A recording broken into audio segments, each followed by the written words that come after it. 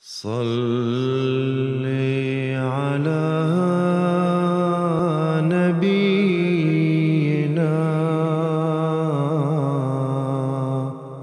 صل على محمد.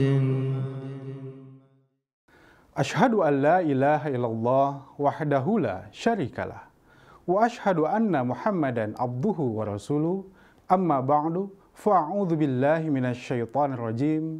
Bismillahirrahmanirrahim. Pemirsa yang berbahagia, Assalamualaikum warahmatullahi wabarakatuh. Di dalam kesempatan khutbah Jumat pada tanggal 1 Januari 2021 yang lalu, Khalifah Ahmadiyah Hazrat Mirza Masud Ahmad Ayyadahullah Ta'ala bin Nasril Aziz menyampaikan informasi bahwa beberapa pemimpin dunia telah memberikan jawaban atas surat beliau terkait COVID-19. Di dalam surat tersebut, Hazrat Khalifah menyampaikan bahwa pandemi ini merupakan peringatan dari Allah Subhanahu wa taala dan umat manusia seharusnya kembali kepada Allah dan berupaya untuk memperbaiki diri. Di dalam surat jawabannya, para pemimpin dunia rupanya lebih menekankan pada upaya-upaya duniawi di dalam menangani masalah pandemi ini dan tidak mempertimbangkan secara serius aspek-aspek religius sebagaimana yang dinasehatkan oleh Hazrat Khalifah. Para pemimpin dunia tidak mempertimbangkan upaya rohani untuk mereformasi diri dan memenuhi kewajiban kepada Allah Subhanahu wa taala. Dalam masa 100 tahun terakhir ini, umat manusia memang telah membuat kemajuan yang luar biasa di berbagai bidang kehidupan, khususnya dalam sains dan teknologi. Dan atas semua kemajuan ini, umat manusia kemudian meraih keberhasilan demi keberhasilan yang luar biasa. Namun sayangnya, di sisi lain, manusia menjadi lupa diri. Bahkan naasnya, muncul suatu pemikiran yang naif, yakni apakah dengan segala kemajuan ini manusia masih membutuhkan Tuhan? Faktanya, pemikiran naif di atas lantas diluluh lantakan dengan kehadiran virus mikroskopis COVID-19. Virus ini kemudian mengungkap banyak sisi-sisi kelemahan umat manusia, bahkan lebih dari itu menyebabkan umat manusia bertekuk lutut.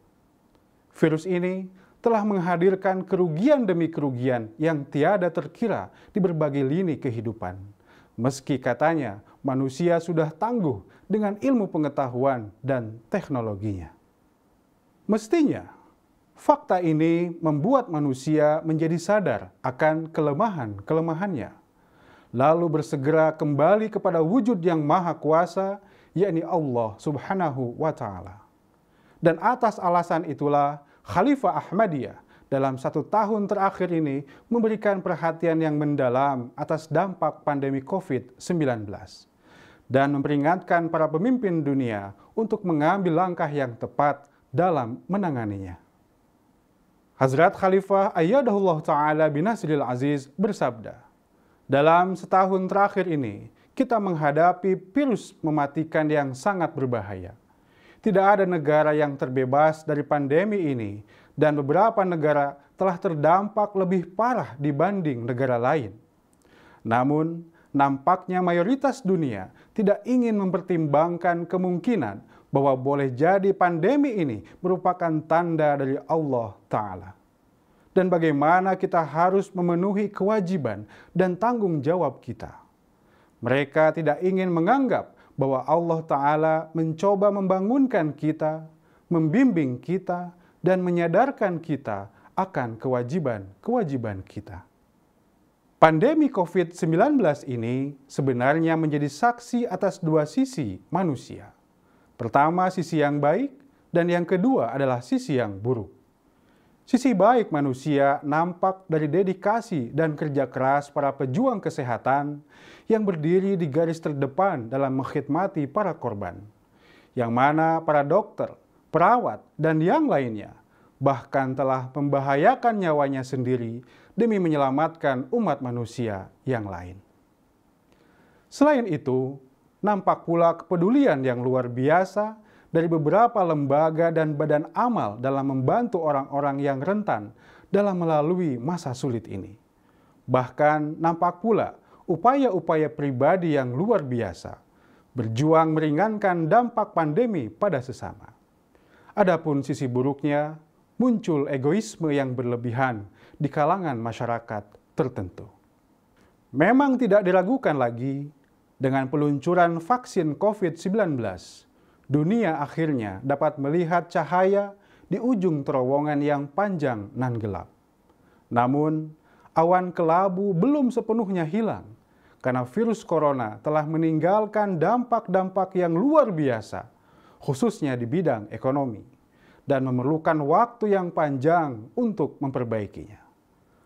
Lembaga keuangan IMF mengatakan bahwa virus corona telah menjerumuskan dunia ke dalam krisis yang tiada duanya. Dan penurunan ekonomi saat ini adalah yang terburuk sejak depresi hebat di tahun 1930. Atas hal ini, Khalifah Ahmadiyah mengingatkan banyak pihak untuk secara bersama-sama mengadopsi sisi positif kemanusiaan, lalu menunjukkan cinta dan kasih sayang untuk orang lain, serta berupaya untuk mengutamakan mereka.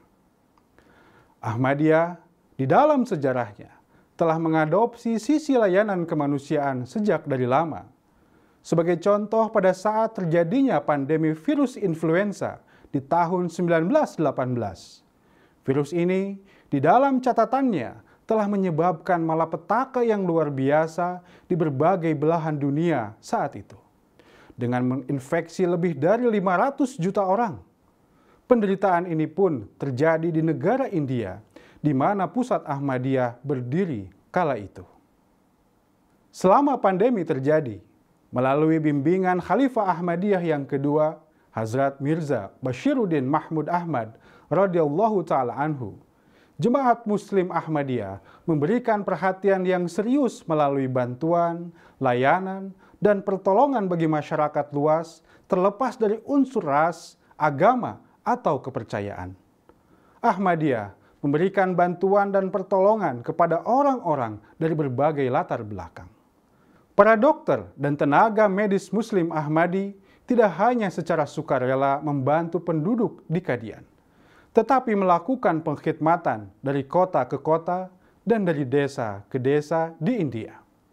Tim pengkhidmat ini memastikan bantuan medis menjangkau korban yang berada di daerah yang jauh. Anggota jamaah Ahmadiyah lainnya pun turut berpartisipasi dalam melayani para korban. Masyarakat miskin dibantu melalui bantuan keuangan dan penyediaan persediaan makanan. Dan pada hari-hari pandemi tersebut, relawan Muslim Ahmadi dengan susah payah bekerja keras siang dan malam meskipun menghadapi kesulitan yang besar. Dalam kondisi tertentu, beberapa sukarelawan Ahmadi pun jatuh sakit. Namun mereka terus berjuang dan melayani para korban mereka tetap menahan rasa sakit itu, terus merawat para korban meski harus mengorbankan istirahat mereka. Layanan ini sedemikian rupa sangat diapresiasi oleh masyarakat India kala itu melalui berbagai artikel dan pidato. Semua orang mengakui teladan yang luar biasa yang ditunjukkan jamaah Ahmadiyah selama pandemi virus influenza tahun 1918. Saat ini pun, di masa pandemi COVID-19, jemaah Ahmadiyah di berbagai belahan dunia dengan semangat yang sama terus memberikan pelayanan kemanusiaan pada sesama. Para Muslim Ahmadi bahu-membahu menunjukkan kepeduliannya secara berkesinambungan dan bersatu padu dengan berbagai elemen bangsa dalam meringankan beban penderitaan. Peringatan yang disampaikan oleh Khalifah Ahmadiyah yang kelima, Hazrat Mirza Masud Ahmad ayyadahullah ta'ala binasril aziz kepada para pemimpin dunia beberapa waktu yang lalu, sejatinya mengingatkan kepada nasihat-nasihat yang juga telah disampaikan oleh Khalifah Ahmadiyah yang kedua, Hazrat Mirza Bashiruddin Mahmud Ahmad radhiyallahu taala anhu pada saat pandemi virus influenza penyerang dunia di tahun 1918. Beliau mengingatkan dunia agar manusia berfokus kepada unsur religius dan tidak hanya berfokus kepada unsur duniawi belaka.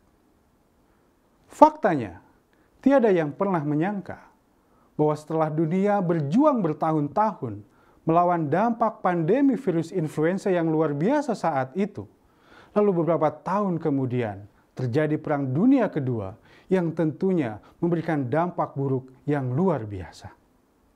Semoga Allah Subhanahu wa Ta'ala memberikan karunia yang khas kepada kita sekalian untuk dapat mendekatkan diri kepada Allah Subhanahu wa Ta'ala dan senantiasa terjaga dari segala bentuk keburukan. Amin. Allahumma amin. Wa akhiru da'wana anil hamdulillahi rabbil alamin. Wassalamualaikum warahmatullahi wabarakatuh.